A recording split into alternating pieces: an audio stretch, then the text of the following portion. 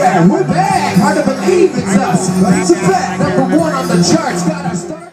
Uh, it's Tour de Fat Fort Collins. Uh, it's gonna be so much fun.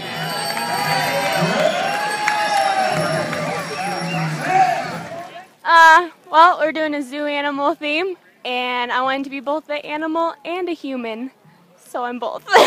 Tour de Fat just inspires some really creative ideas in people. We're all a little strange.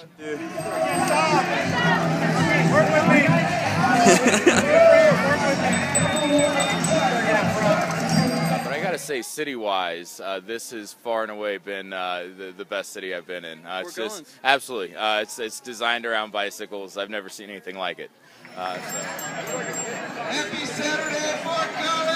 So our idea is um, safari. So we have a safari jeep here, and we're dressed as animals. So it's kind of like a reverse safari. Like all the people are the crazy ones. We're the animals watching you guys, and that's.